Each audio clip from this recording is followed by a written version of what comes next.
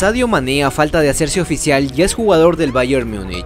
Este martes arribó a la ciudad alemana para pasar la revisión médica del club.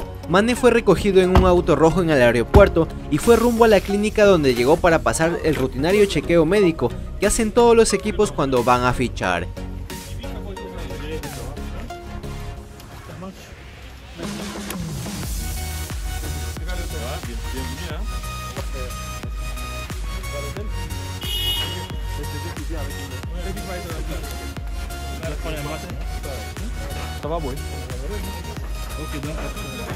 Minutos más tarde, después de la revisión, Mané salía del centro médico ya vestido con los colores de su nuevo club.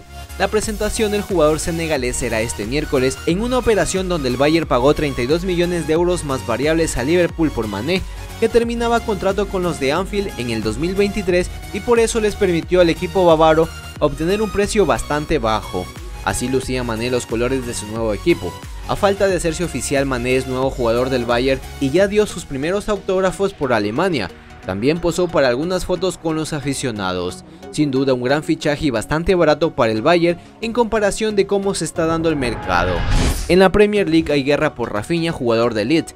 Según Fabrizio Romano, el Barcelona ha llegado a un acuerdo con el propio jugador que quiere fichar por el equipo azulgrana, pero el Barça no ha tenido ninguna conversación con Elite, mientras que el equipo inglés ha tenido conversaciones por Rafinha con otros equipos de la Premier, como lo son el Arsenal que es el más interesado, también está Tottenham y el mismo Chelsea.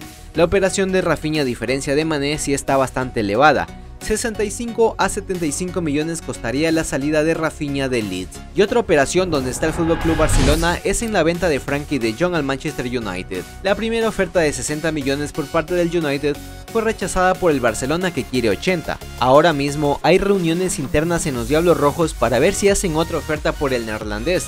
Las conversaciones siguen pero el Barcelona parece que no va a ceder en el precio.